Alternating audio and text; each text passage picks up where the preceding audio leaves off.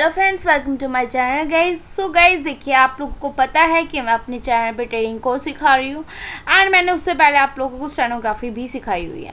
सो so guys इसी channel पे मैं आपको ट्रेडिंग कोर्स भी सिखा रही हूँ काफ़ी सारी वीडियोस में मैंने आपको R S I trend line बहुत से पैटर्न बहुत से स्ट्रैटेजी सिखा चुकी हूँ।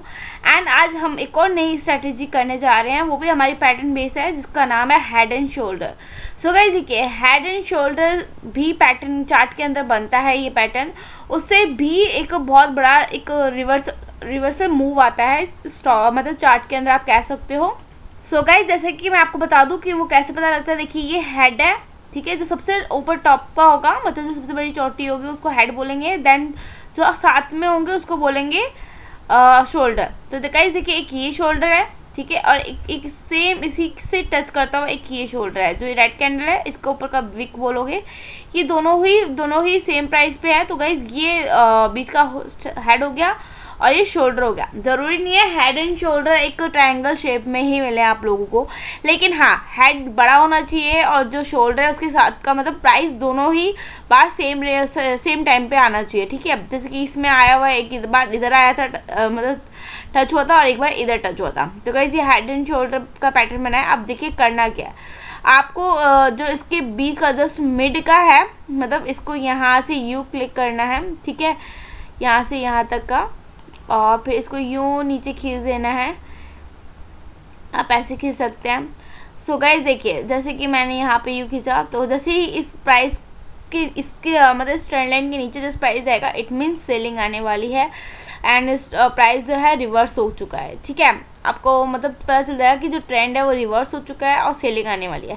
हेड एंड शोल्डर में गाइस हमें फॉलिंग का पता चलता है। जैसे ही इससे ब्रेक करता है नीचे की तरफ़ तो इट मीन्स यहाँ से आपकी सेलिंग है। और टारगेट गाइस जैसे कि मैंने आप लोगों को बताया कि जो इतना, जो इस पॉइंट का गैप होगा, ठीक है, आप उस पॉइंट तक का आप इतना टारगेट लेकर चल सकते हैं। और स्टॉप लॉस आपका इस लाइन से ऊपर जस्ट इसके ऊपर होगा, ठीक है।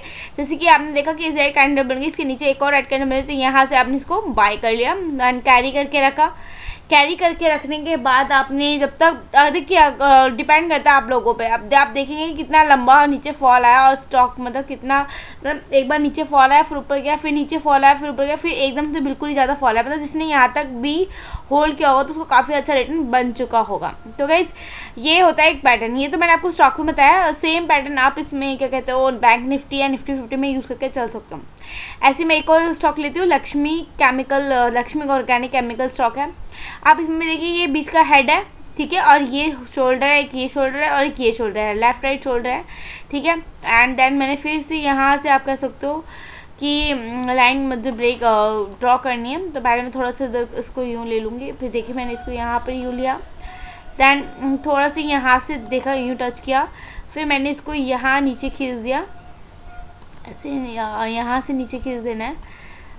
वन सेकेंड मैं आपको करके दिखाती हूँ। सो so गई जैसे कि आप देख सकते हैं कि मैंने ये लाइन यहाँ से खींची थी, फिर मैंने यहाँ से इसको टच कर दी क्योंकि मिड का ये हेड है, ठीक है? यहाँ से, यहाँ तक मैंने लाइन ड्रॉ कर दी। देखिए, इसके बाद ये प्राइस नीचे गया है और फॉलिंग ही आई है कहीं ज़रूरी नहीं आप इसको इसके मिड से ही टच करो, आप बिल्कुल एक स्ट्रेट लाइन भी खींच सकते हो, ठीक है? स्ट्रेट लाइन खींचने के बाद बस आपको इतना ध्यान रखना है कि जैसे ही इस लाइन से, इस ट्रेंड लाइन से नीचे अगर प्राइस जाता है इट मीन्स फॉलिंग आने वाली है ट्रेंड जो है रिवर्स होने वाला है।